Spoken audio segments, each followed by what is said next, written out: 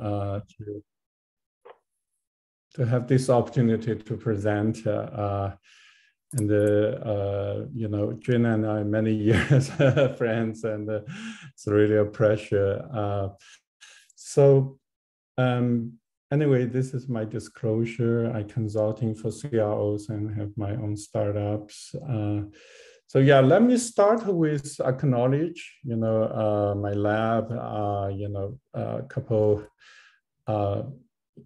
junior faculty, actually, Xingfeng is a junior faculty now, uh, and Wang Kai, he graduated. Uh, Chen Yang is a current PhD student. Uh, they did most of the work I present on the ultra high field. And the collaborators, uh, especially Bill Rooney, uh, you know, he provide generously provided many slides on the uh, DSC, DCE at the ultra high field, as well as funding support. Um, you know, uh, this is our lab, uh, Laboratory of Functional MI Technology. Uh, I'm very fortunate uh, to uh, have a very dedicated fun lab. this throughout the pandemic, you know, this is, we did 2021, so it's end of 2020, at the peak of the pandemic, uh, each year we had a New Year party, and that year was virtual, and we had a, a selfie context. Uh, so uh, you know, today uh, when I uh, discussed with String, you know, we've been in pandemic three years, and uh, just starting to get in person. so we've all had enough Zoom meetings. You know, it's always I give the lecture and then you know you answer questions or maybe you listen. It's always one-way communication. Uh, so this uh, I try to make a little adjustment uh, to uh, make it more interactive, uh, two-way. Uh, so today, actually, you know, mm, during the talk, I will also ask you questions, not at the end. during the talk, I will ask you questions. And so we are making our, uh, you know, loft t-shirt, uh, redo it, custom make uh, again, you know, with different color size. So, uh, you know, for people who give correct answers, we'll send you a loft t-shirt. yeah, so uh, starting, uh, I'm at the University of Southern California, so our institute is called Stevens Neuroimaging and Informatics Institute. Uh, so we are the first uh, one in North America to install uh, 70 Terra, uh, which is the first FDA approved ultra high magnetic system. And we also have a, a 3T Prisma, so it's a 10T package. subsequently, we also obtained ACR accreditation for ultra high field neuroimaging. And um, I will start with ASL because you know this is uh, um, majority of our work. Uh, so uh, we started this work actually very early, you know, as early as 20 years ago. Uh, throughout um, like a course of 20 years, we worked with different institutions, uh, including CMRR. Um, so we get some data until we have our own scanner. And of course, you know, uh, the promise of ASL is uh, huge uh, for ultra high field because you have the due benefit of high SNR, which is actually uh, now the literature supports B0 to the 1.65 instead of linear scaling with B0 and also your blood T1, which determine the uh, half-life of blood, uh, labeled blood is also above two seconds. So when you combine, you know, you see a, a tremendous, uh, you know, gain, almost uh, exponential gain uh, with few strands. Uh, for example, you know, if you move from 3T to 70, you get more than three times SNR gain. So I'm very glad, you know, when we did the um, uh, simulation, you know, we didn't stop at 370, uh, sorry, 70s here. Uh, actually, you know, now uh, 70 is the entry level of ultra high field. so uh, yeah, so my first question to the audience is, uh, what's the highest field strength of uh, active ultra high field human MI system? You can put it in the chat box and the June will monitor it. Yeah. So for example, you know, we did this uh, initial, um, you know, turbo flash based ASL at 3T and 7T. Uh, we almost can reach seven millimeter in resolution. Yeah. Um, you know, the, of course, you know, the picture is beautiful, uh, but the reality is uh, not so glamorous. Uh, you know, you, you're always facing this uh, B1, B0 inhomogeneity.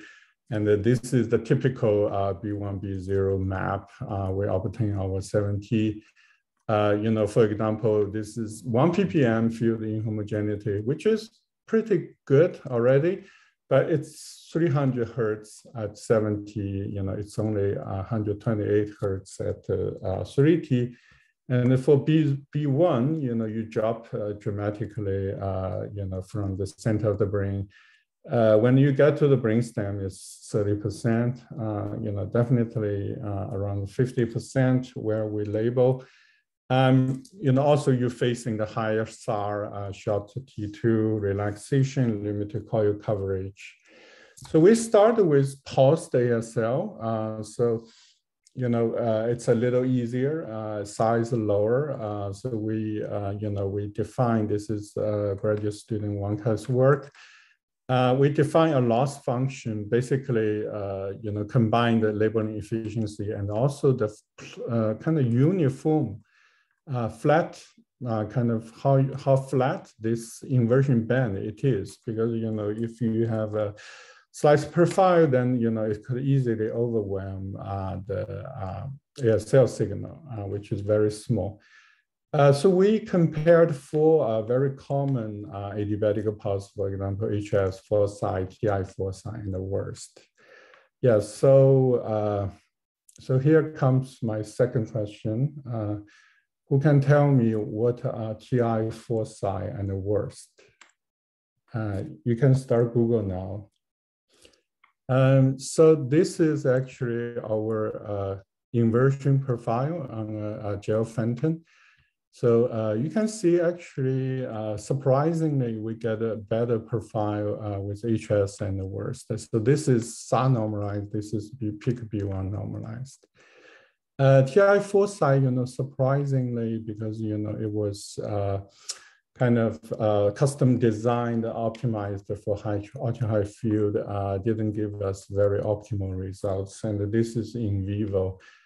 Um, you can see, you know, uh, so actually our finding was the WURST uh, is actually the best. Uh, so uh, I think one of the uh, kind of controversy in the field is um, I think the TI foresight when uh, when it was designed, uh, we, we look at the literature, it didn't really uh, taking care of the B0 inhomogeneity.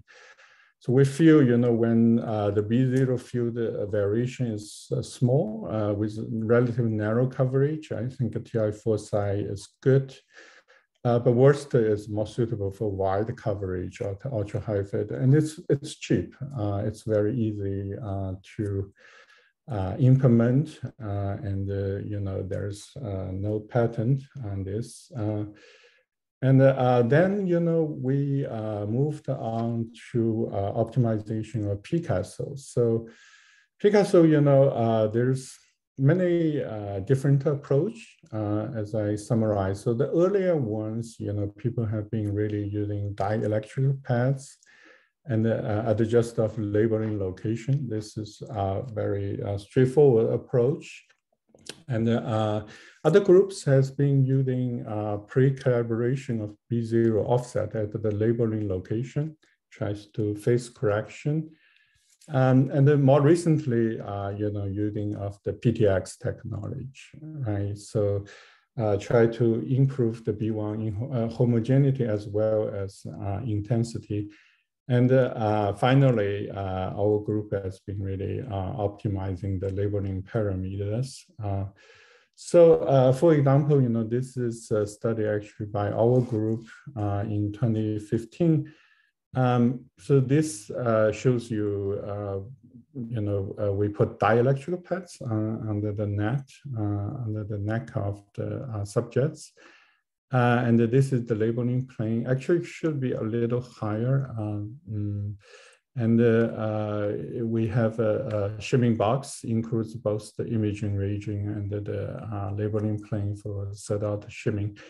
Um, with a, a, relatively short labeling offset is 75 millimeter, you know, instead of 90 or 100 uh, at 3T. Uh, this is our image uh, with reasonable quality with SMS TFL readout. Um, so we actually uh, have been uh, trying to finding the optimal labeling location uh, based on time of flight, uh, you know, MR angiograph. So we found out this location is relatively optimal. It's uh, just below the fork of the uh, vertebral artery joining the basilar artery and uh, you will see actually the uh, B1 and the B0 map. They have a relatively, B1 can reach about 70%. Uh, B0 is, uh, I think it's, uh, you know, less than 100 hertz, positive, negative, which is relatively tolerable for us.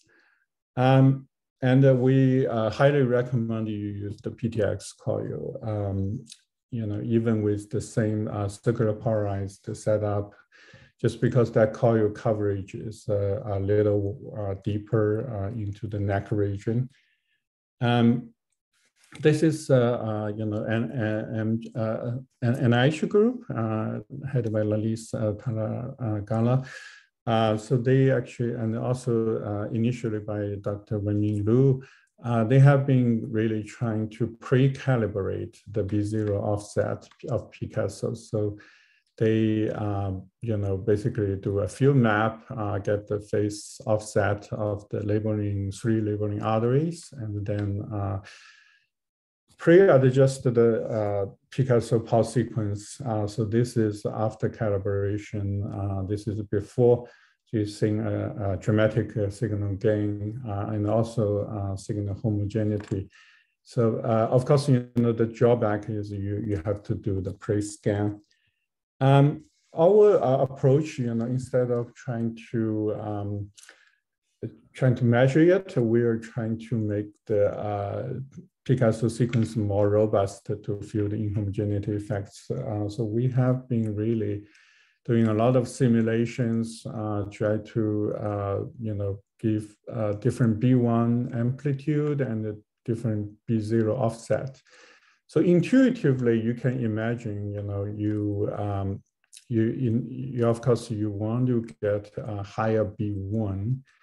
Um, so the higher B1, of course, the more tolerance to uh, B0 offset.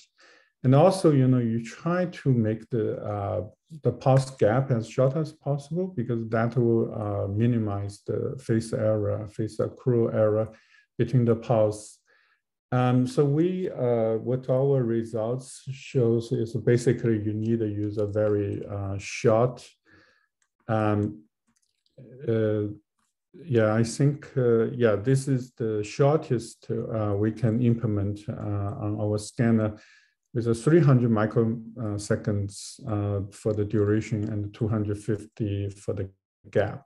Uh, so uh, this is our image. Uh, so basically, you know, we um, we don't measure anything. We just basically uh, choose the optimal labeling plane. Then uh, we use the optimal parameters.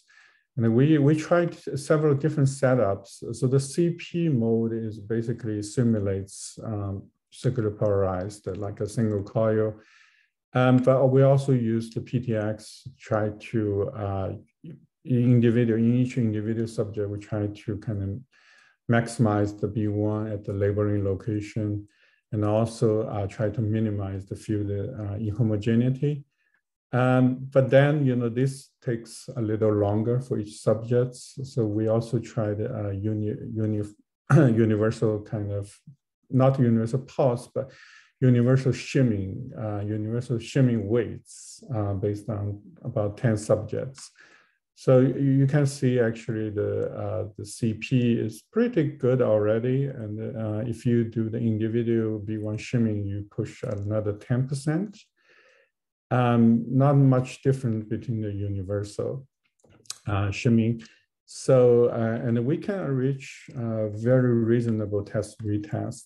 Uh, this is on the different days. Uh, so we, if you're interested, look up our MIM paper last year. Uh, it actually, uh, we, we, we give all the, maybe around five, six subjects, we give everybody's image in appendix.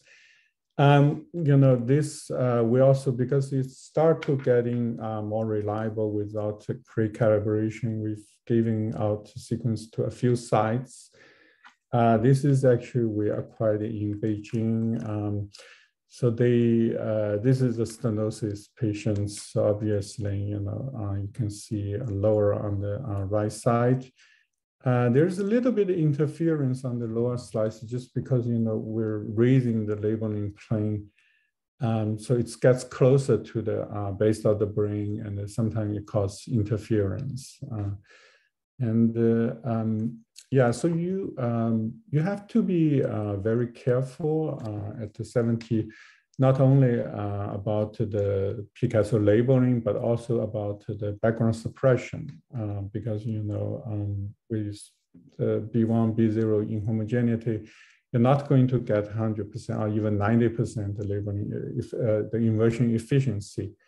Uh, if you uh, use the original HS pulse uh, without any other adjustment, your inversion efficiency is only 77% with a large uh, CV across the uh, brain.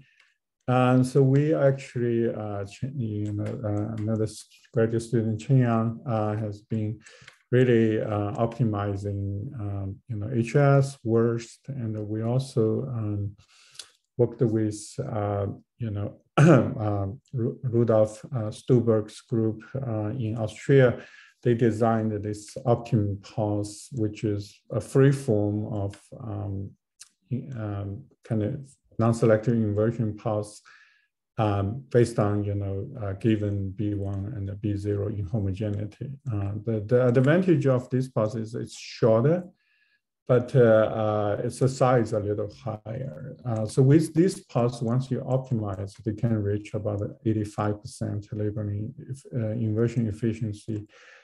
around 10% inhomogeneity um, Pulse is the best in terms of both inversion efficiency and also CV, but the size is higher. Uh, so um, you have to be, anyway, you have to be really careful uh, about each step. And um, really the background suppression pulse is very expensive uh, at the 70, I would say, because you lost the 20% of the signal. Um, and uh, uh, in terms of uh, readout, it's also very tricky because, you know, um, uh, the T2 is much shorter, T2 star is much shorter, and you don't have a lot of time uh, for image readout.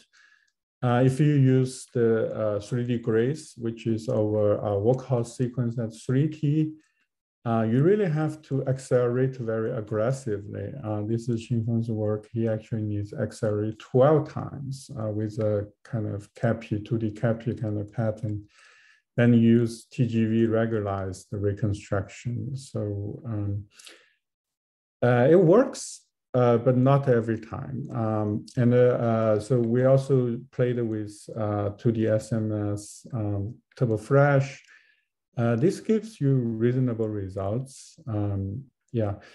Um, so our favorite has been uh, at 70 because uh, it's low distortion, uh, very short TE. Uh, so yeah, so recently uh, we've just gotten uh, this 3D TFL working with background suppression um, and the PCASL at the 70 uh, this is in plane two by two, through plane still four millimeters. So this one, I think, you know, we feel it's the best kind of white paper 3D PCASL version at 70. Um, uh, based on experience, uh, you can see uh, matter perfusion. Uh, you can literally see it.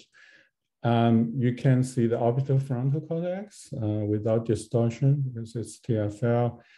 Uh, you can see some fine uh, structure like a uh, and also the gyri size. So we feel we're further optimizing this. Um, ideally, we want to reach isotropic two by two by two, uh, but this is, I feel, you know, clinically will be um, very useful. Um, and uh, um, so I want to spend um, a few minutes on the PTX. You know, uh, I think this is a major technology uh, for us to tackle the field inhomogeneity, B1 field inhomogeneity effects at ultra high field. Uh, this is just shows you, you know, using the by default the uh, single transmitter single transmitter coil. Uh, you see a large uh, field inhomogeneity effects uh, due to the dielectric effects. And it's actually uh, slightly already better just by using the PTX coil with what we call true form is basically a simulated CP mode. Uh, then, you know, if you can pick your uh, region to do shimming, uh, that will be even better. And this is individual subject based, the whole brain. So essentially, you know, um, you are getting better uh, field homogeneity uh, at the price of the SAR. Um, and uh, uh, this just shows you, you know, the coverage improvement with MP-RAGE. Um, so we have been generally using this. Seems it's a balance between, you know, uh, uh, the field homogeneity and also the cost in terms of time and uh, SAR.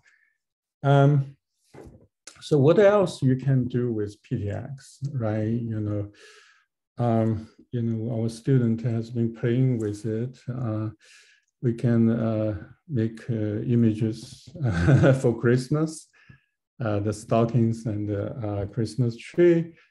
And uh, you can make a tiger for the Chinese New Year. Yeah, so um, besides entertainment, what else you can do with PTX? Um, so uh, we thought about it. Uh, one of the uh, you know technology that is uh, very fancy in ASL is you can do vessel selective labeling using this uh, cool technology of uh, super selective ASL. Um, so, um, but super selective ASL also has its drawbacks. Um, so here's my third question, uh, who can tell me uh, what is super selective uh, PCASL? Uh, you can put it in the chat box. Um, so uh, essentially, you know, um, uh, with, with, the super selective, you lose a little bit labeling efficiency. And a lot of time you don't uh, achieve uh, super selectivity uh, due to the uh, interference of the other uh, uh, vessels. So what we try to do is we try to combine the, the, the, the, selectivity of the B1 field and try to enhance the labeled region while suppress uh, the un unlabeled region, uh, vessels. So this is actually, we're targeting the basilar artery.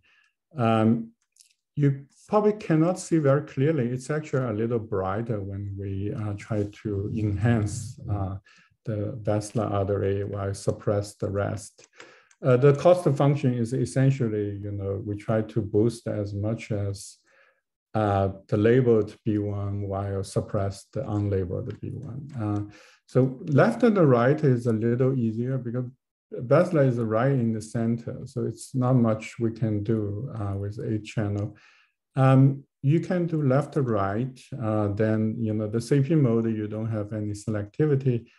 Um, but with if you select the right one, you know you have the dark band right through the left one. Uh, so uh, vice versa, if you select the left one, you have a, a you know artificially generated a dark band through the left one. So um, we can play with this uh, to try to enhance the selectivity. Um, for example, you know, this is uh, the, the default uh, super selective. Uh, with our uh, enhanced B1, uh, you, you, can see it's actually the SNR increase of 50% uh, the, of the labeled region, while the unlabeled region gets uh, suppressed slightly. Uh, vice versa, if you uh, label left, and uh, you can label the posterior, uh, the enhancement is 10% only, um, but you still get a little benefit by suppressing the rest. So um, yeah, so this is actually um, you know, uh, basically we, we did two subjects. Uh, we're going to do more uh, with, with this technology. Uh, you can enhance the selectivity uh, of, uh, of vasoselective ASL with, you know, B1 shimming, not B1 shimming, but yeah, mm, PTX technology. Um, and uh, um, yeah, so, so another uh, kind of um, way we have been thinking is really, you know, for 70, um, a lot of people are very fascinated about the laminar um, imaging with fMRI. Uh, we have been really pushing uh, the laminar perfusion imaging uh, by uh, using zoom the GRASE. So essentially, you're uh, trying to just um, image a selective region of the cortex, uh, then you can do very high resolution. Uh, this is mainly uh, Xingfeng's work that you uh, he published last year. As a one of the, um, you know, instead of trying to kind of using very fancy PTX technology, we just basically we apply the labeling region uh, within the brain um, above the circuit. So you kind of uh, oblique uh, cut through uh, AC, MC, and the PC. So you actually can cut label three uh, main uh, intracranial vessels together. Uh, and so the, the, the benefit is one is because, you know, this is a sweet spot for B1B0 at 70 uh, and you're very close to your uh, imaging volume, so reduce the transit time. And also, you know, because the flow velocity is lower, you can use a small flip angle to reduce SAR. Um, yeah, so this would uh, just, you know, I, I just want to show you guys um, the raw unfiltered images without any deep learning. Um, yeah, so um, yeah, we did a, a different post-labeling delay. You know, this is the motor cortex. This is the visual. You can see the coverage and the, the image quality, you know, just to kind of uh, see the perfusion align with the ribbon and uh, of the cortex uh, very nicely. And initially you have these small dots, which we believe is the pial arteries. Uh, and it gets disappear into more homogeneous perfusion pattern. Same for uh, visual cortex. Um, and you can do activation. You know, this is basically just subtraction without any statistics. Um, yeah, so uh, you can see this is just subtraction of this omega uh, hand knob, uh, as well as, you know, sensory mode, premotor, uh, super SMAs uh, very nice uh, without the statistic uh, analysis. Um, for example, visual as same, uh, you will see the early visual cortex uh, very nicely. Uh, and so this is actually, you know, our analysis. So with this is the profile. you you get at 500, uh, 1000 millisecond and 1500 millisecond. So earlier uh, delay, uh, you will see more uh, pial signal uh, while it's shifted into the deeper uh, layers. Uh, so the this is the fitted transit time at the so so the surface, pial surface is a little shorter. It's 900, while the cortex mini is uh, 1000 milliseconds. And this is CBF profile. So we look up a literature. This is the hist histogram, uh, historic analysis of vascular network density on the uh, human specimen. Uh, so this is motor cortex. You will see almost a um, very nice match with the uh, historic analysis.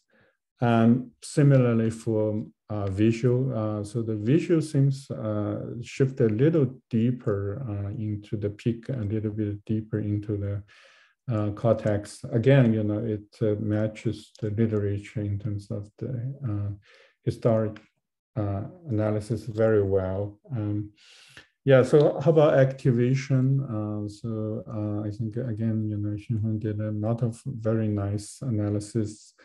Um, we did a, a, few tasks, two tasks basically. One is the rest, uh, one is the uh, finger brushing, uh, one is the finger tapping. Uh, so brushing is basically just you feel the brush, while finger tapping you need a you know, simultaneous uh, program uh, and get feedback of the sensation. So you actually, uh, you know, if you read uh, Randall Huber's paper, uh, so the, the, the finger tapping should be double peak. Uh, you can literally see it, while finger brushing is mostly sensory. So it's more um, superficial layers. Um, not the deep ones. Uh, so yeah, exactly that's what we observed. Uh, finger tapping is double peak. Uh, brushing is, you know, primary one peak in the superficial layers. Uh, if you look at bold, it's trended towards the pial surface because you're just because the pial vein uh, that's well known. Uh, but you, you can also barely see a two peak pattern. Um, because we use T2, uh, this is a GRASE, so it's T2 bold. Um, so it's, it has uh, more specificity than the uh, gradient echo bold. Uh, the, the signal change, uh, surprisingly, is very large, it's above 100%.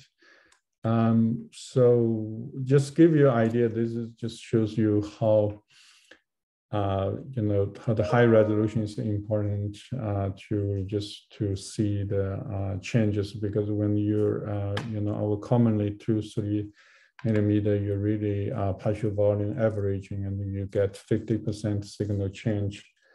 Um, and the uh, visual similarly, you know, we, um, this is the rest. Uh, so the uh, hypothesis was, you know, feed forward uh, just by looking at the visual stimulation, you're uh, basically the, the feed forward signal ends in the um, first layer. Um, so um, while the feedback, you know, with attention uh, from uh, higher visual cortex is mostly superficial in the deeper layer. So that's exactly what we observed. That we have the attention um, modulated signal, which actually shows two peak, uh, a smaller one in the superficial and a uh, you know, a primary one in the uh, deep layers.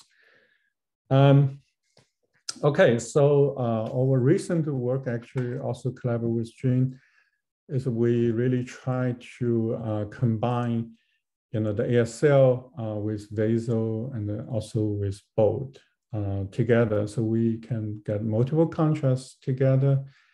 Uh, so we then we can derive a metabolic uh, CMRO2 change during activation. So the idea is actually, um, you know, very simple. Uh, we, at the ultra high field, we use one uh, inversion pulse instead of two or more uh, for background suppression, because as I explained to you, it's very expensive. Um, but uh, with one uh, background inversion, non-selective background inversion pulse, uh, you can actually adjust the uh, what we call PLD or TI uh, to non the blood signal. So you get the VASO uh, during the control imaging, uh, while the subtraction of label and control, you get uh, the ASL. Then you uh, wait 500 milliseconds, you get a T2 bold by using the GRASE. So you get three together. Uh, this just shows you the paradigm uh, of VASO and the CBF, VASO CBF interleave with bold. Uh, with all this signal, you know, we actually also followed Professor Lu's previous work derive uh, the CMRO2. You know, we haven't done the um, CO2 uh, breathing calibration because it's a little uh, harder to do at 7T, uh, but we plan to do it. yeah, so this just again shows you, you know, with finger tapping, you expect a double peak with CBF and the BOLD and the VASO, um, you know, you, you, you have a double peak as well, but it's negative. Uh, of course, you can do VASO uh, just for the BOLD effects, which is very similar. Yeah, so here uh, comes my fourth question uh, for you guys. Uh, I, I, think you must be able to answer this one easily. uh, my question is, uh, what is VASO and why it's negative? Yeah. Um, so this is the profile, uh, you know, using uh, basically CBF. Uh, so we we really see two peak again. this is very reproducible, and this is positive BOLD and the negative VASO signal. And you can convert it into CBV. So there's also a double peak in the CBV. Uh, this is actually, uh, the blue one is CBV divided by BOLD. Uh, oh, sorry, uh, CBV, uh, yeah, CBV divided by the BOLD. Um, yeah, so with this, we can derive the CMRO2 ch change. This is our curve. Uh, it was primary peak at the deep layer another smaller peak at superficial layers. Um, so we looked up, um, you know, the uh, literature again, you know, try to uh, correlate with the uh, cell neural density. Uh, you know, from this paper, uh, it looks like it's it's more neurons. The, of course, you know, with the pyramidal neurons, you're really distributing in the deep layers. Uh, and, and uh, there seems to be a little smaller peak in the superficial layer. So we think, you know, uh, this CMRO2 uh, results may be correct. Of course, you know, we, we, we need to do more work and uh, ideally maybe with uh, CO2 calibration. okay. Um, yeah, so now we shift the gear a little bit into uh, dynamic contrast enhanced uh, at the ultra high field. Um, uh, it has been uh, fewer literature. I have to dig it a little deeper. We, we just started doing it. Uh, yeah, we were not expert in this area, but I thought uh, it's good to have some discussion uh, with the group. Um, yeah, so this actually, uh, Bill Rooney, very generous, shared these slides with me. Um, essentially, uh, so you you basically with contrast agent, you detect uh, uh, relaxivity, longitudinal relaxivity rate change, right? So uh, based on this equation, uh, this is the pure saline. Uh, this is the R1 of the tissue uh, with uh, macromolecular tissue, uh, this is actually the contrast agent one. Um, so essentially, you want to detect the contrast agent change um, with this by measuring this R1. Um, and uh, everything goes down, uh, other relaxivity rate goes down with ultra high field. Um, but the, the, interesting thing is uh, since the uh, tissue R1 goes down more than the contrast agent, and uh, essentially you're getting a little bit of gain. Uh, this is empirical kind of simulation by Bill. Uh, it's not as good as ASL. ASL goes like exponential. This is more like a saturation recovery. um, so, but you do get a little bit of gain. For example, with muscle, you get um, little large signal change uh, at 7T and also white matter. Um, and uh, um, so, uh, so DCE is actually um, a little bit uh, more preferred. Uh, the same reason as I uh, said about ASL, because you know it's less distortion, very robust in terms of B1, B0 inhomogeneity. Um, and uh, you do have to count, take into account uh, the spatial inhomogeneity B1 uh, effects uh, when you calculate uh, the K-trans uh, and the signal change. this just shows you the T1 mapping. you commonly for DCEMI, you do have to take into account uh, the flip angle, which is the B1 uh, field effects, uh, as well as, so this is calibration of the blood T1. Um, this uh, is from Rooney again, uh, shows you they, they have a very interesting protocol um, to give uh, gadolinium um, on, on the same day uh, while also second day, the subject will come back for uh, iron oxide nanoparticle ferumoxytol, uh, and then they image the third day. Uh, so it's a three-day protocol. So this is pre-contrast Gad, pre-Gad. Uh, this is post-Gad. Uh, this is actually post iron oxide um, nanoparticle uh, so you can see actually the Gad enhancement uh, looks larger, uh, more obvious, uh, higher contrast with 7T, but really not the iron oxide. Um, this is my fifth question. Why is that? Uh, and who can tell me uh, the, you know, the half-life of gadolinium contrast agent and the uh, iron oxide nanoparticle in your body. Um, so uh, yeah, just my guess uh, is basically, you know, the iron is a uh, is primary a stronger uh, susceptibility contrast, to, so it's uh, affect the T2 more than the T1, and you're using a T1 sequence, you know, depending on your TE, uh, you know, they are counteracting, right? Because uh, T, T2 uh, is reduce the signal while T1 is enhance the signal. So you don't get as much as uh, ion enhancement uh, at the 7T as 3T, but nevertheless, it's very interesting.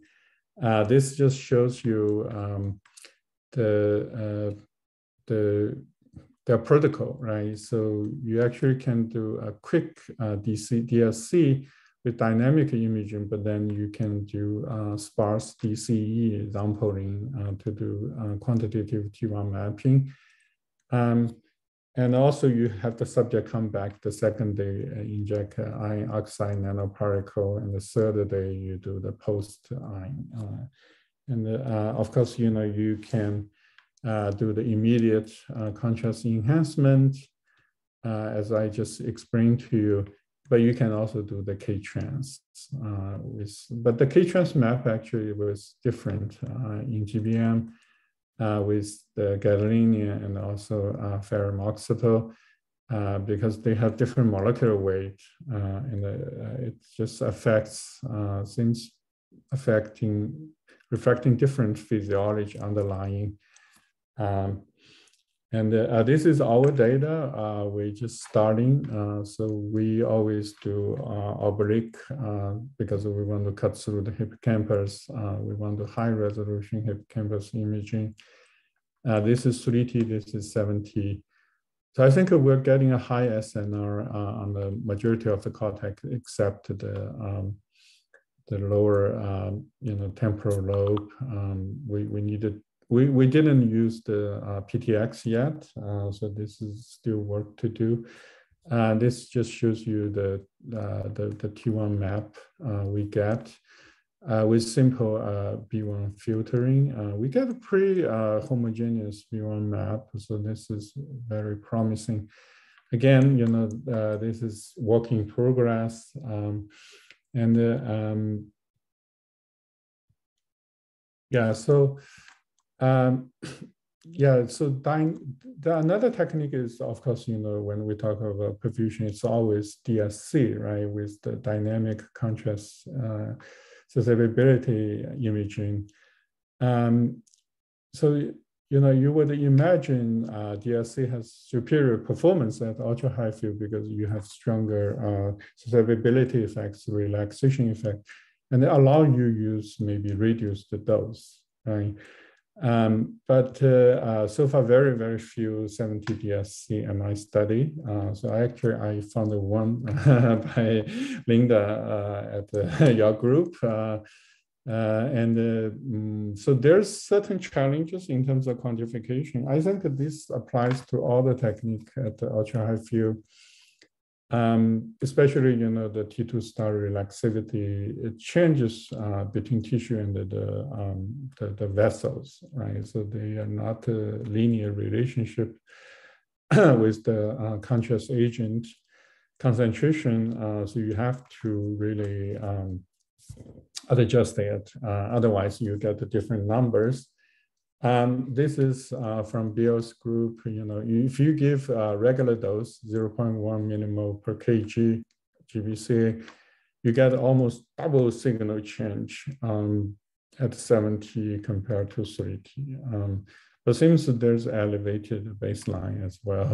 Um, so um, yeah, so you know this is uh, actually Bill's group um, with uh, uh, yeah. So it's it's they they can get uh, pretty nice um, whole brain uh, two two point five ISO with multi-band EPI. Um, so reasonable uh, image quality um, to get multiple parameters for DSC. And this is Linda's paper uh, just shows you um, it is, uh, she actually used a half dose um, compared to 3T. So it's stuttering um, 0.05 millimole per kg. Um, yeah, so um, anyway, um, so she reported uh, an adjustment uh, of these tailing effects.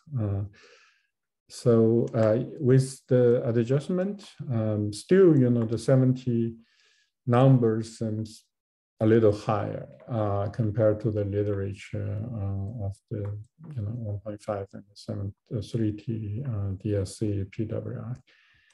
Yeah. Okay, so I uh, I come to my conclusion. Uh, so it's a very active, very interesting field. Um, I think ASL has been more active, definitely.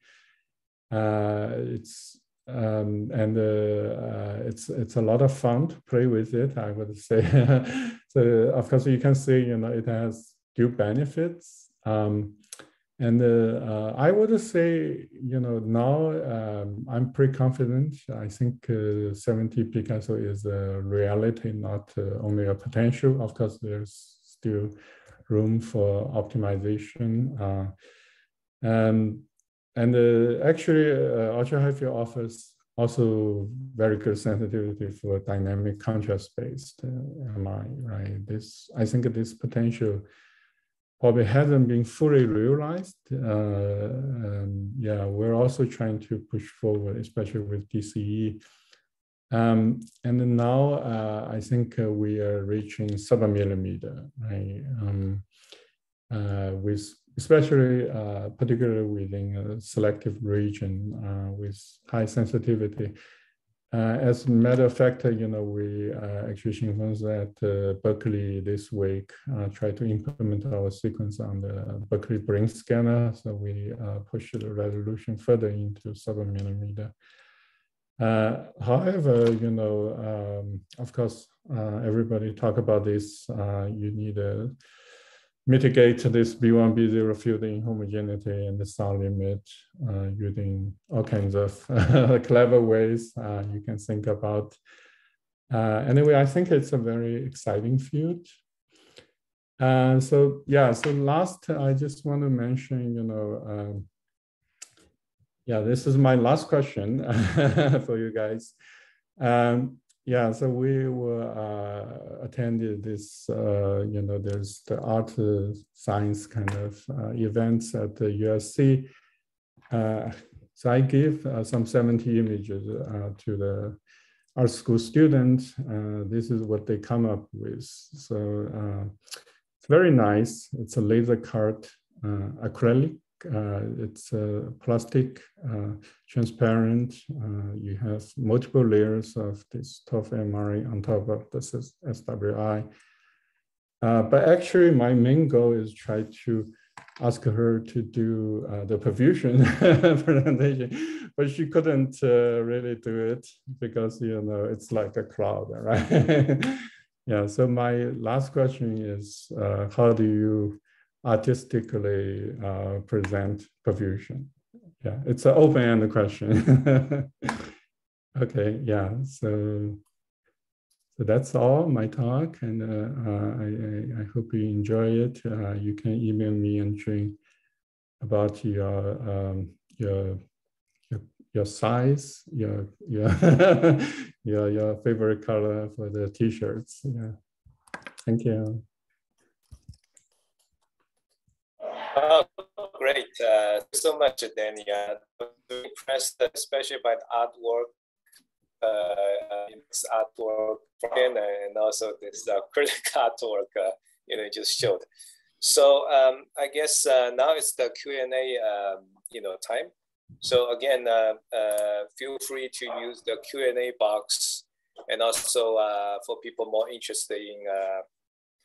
Uh, more familiar with the chat box, feel free to use the chat box.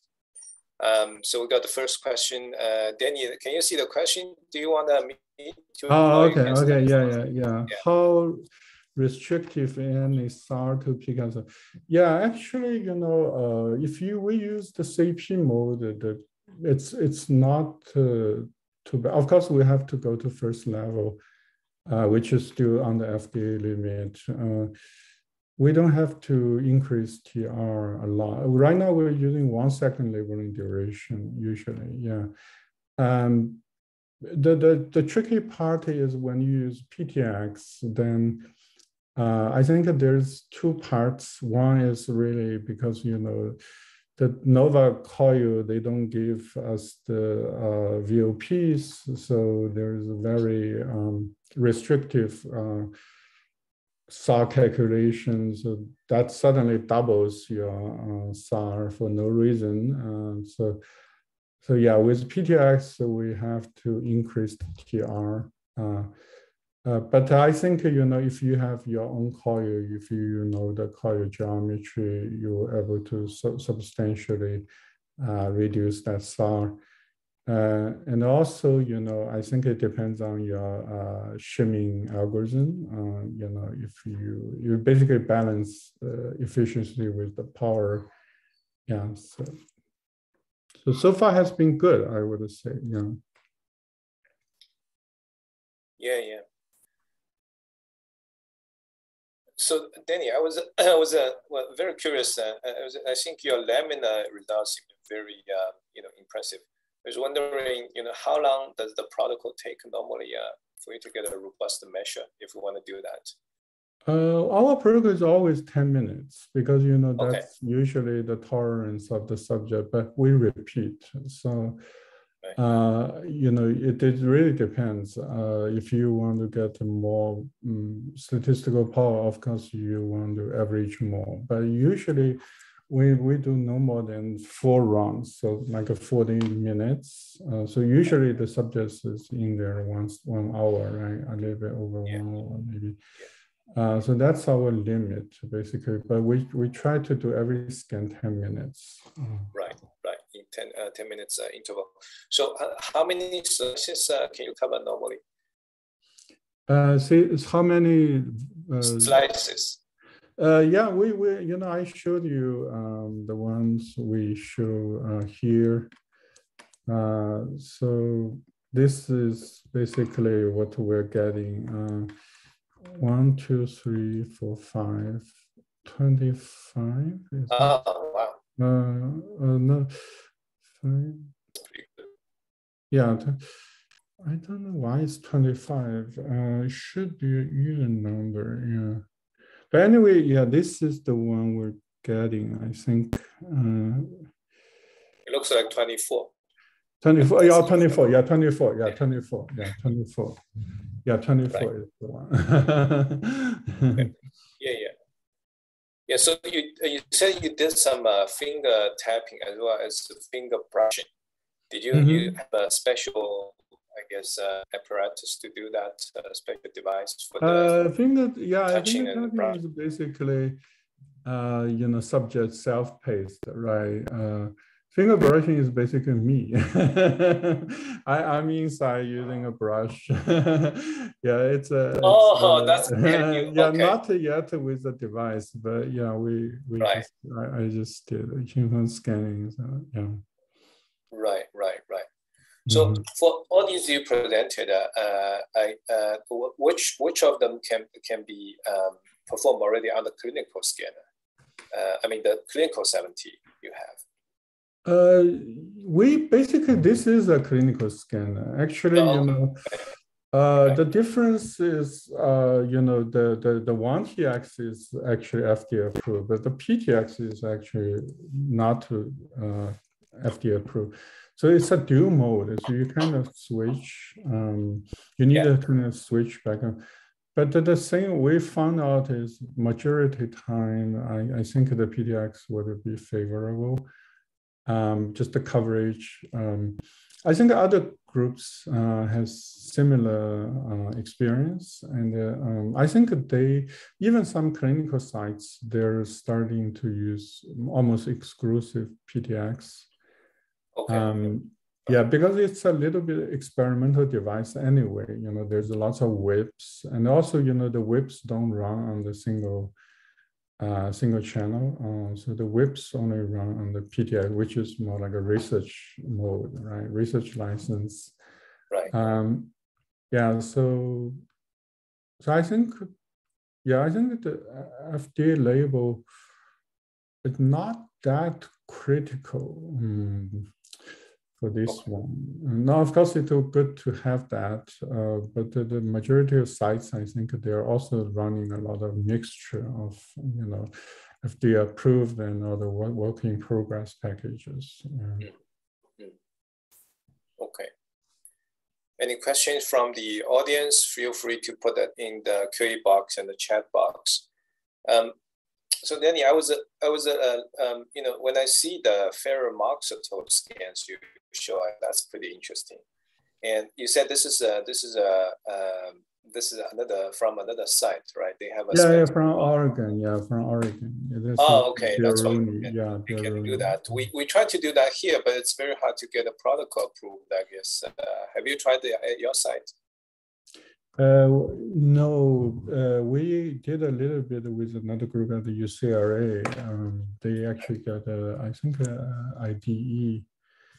Uh, so yeah, it's it's a little bit uh, depends on um, which uh, institute and IRB. Sometimes you may uh, need uh, go through FDA. Right. Uh, Yeah, because it's uh, so sort of like it's off-label. Yeah, it's Yeah, off-label use. Mm. Yeah. Yeah, so The you have to have a physician uh, practitioners uh, on site to watch the injection. It has to be slow. right. Uh, so logistically, it's a little bit more like gadolinium. You just pour inject to just do it. Yes. Mm, Yes. yeah, Yes. mhm. Yeah, but the, the size of the con- is a larger. Right? Being on 7T looks like um, um, um, less signal drop or signal decrease because of the T2. But is it, is it because the, um, the, the, the molecule is actually a lot, lot larger? So if the blood-brain barrier is Yeah, I think that that's also yeah, that's that could be true. Yeah, that's could be true. Yeah, so they show that it's different, um, different permeability. Uh, also, the region seems different. Right. You're Right. right. Yeah, I'm just guessing. Yeah. Mhm, Yeah. mhm. because I thought, especially for the, I think the, for the 24 hour, that's pretty interesting, right? So you can look at uh, some sort of a microglial activity Mm-hmm. Yeah, related yeah, it's iron immune deposition. Yeah. Mm-hmm, mm-hmm. And I think for that 17, maybe you can use the SWI, it will give you stronger signal. Uh, yeah, yeah. So you will see a lot of blooming effects if you really do the. Oh, okay. So I think uh, NYU is doing it um, because it's just so strong. Uh, Right. Yeah, mm, yeah, yeah. But if you do multi-echo, I guess you can correct for that. ST Mhm. uh, Haacke's group did something with it. Yeah, okay, I guess. I see the chat box. The oh, answer. chat box, yes. yeah, the correct answer 11.7, 11.7 at the neurospin. Um, Right. and yeah, 10 CMR 10.5, the second, uh, but they are scanning human. I think 11.7, he hasn't scanned human yet uh, because they need a safety. Uh, HS, nobody knows what is worse than what is TI foci. nobody answered that. Uh, super selective single circular individual. Yeah, I think that's roughly right. What is VASO? Of course, you shouldn't know what is VASO. okay, good. Gadolinium. Yeah, it's about 1.5 for gadolinium. Fair Moxto is 10 times, it's 15 hours. Yeah. Okay, we, we have a few people you can if if Jing, you can write down their name, we can contact. Yeah, we'll save uh, we'll save all the chat uh, record, mm-hmm. and then we'll we'll send to that. Um, I guess before before I let you go, uh, Danny, I have uh, one last question because I thought uh, you know you mentioned in, in Linda's paper that they show that uh, you know at 7T uh, for gallium DSC, right? You can actually use mm-hmm. half dose uh, yeah, to yes, get that's approximately exactly the, the same effect. yeah. So as I, Mhm. I saw that seems to be a, a big advantage uh, doing that as 370 compared to 3T. But uh, as you showed, there are not many uh, sites actually doing 7T DSC. So what was the reason? What do you think? I think the probably you know the EPI do get you get a lot of um, distortions, and I think the coverage in the inferior is um, not great. Okay. Probably cannot get Hoberine um, very nicely. Um, Right. Yeah, so it's more general, uh, I guess, the uh, uh, imaging image quality uh, kind of issue, right? If so we can get- quantification, yeah, I think Right. it's availability. Um, Right. Okay. I guess uh, if no more questions, uh, so um, I actually also uh, created, tried to create a survey uh, for all the questions Danny just asked. So I guess if you leave your the survey, feel free to submit additional answers. We'll record everything, and then uh, as Danny said, uh, uh, said we'll send you a nice T-shirt. All right. so okay, again, uh, thank you everyone. Um, you know for uh, for coming, and uh, we'll see you uh, next week. Uh, no, no, no, not next week. Next next month uh, for the next talk. Danny, thank you again uh, for Thank this you, wonderful thank you, talk thank and you. all these. Uh, Thank you for the audience. yes, yeah. Thank you. Great to see you, Danny. Mhm. Okay, bye bye.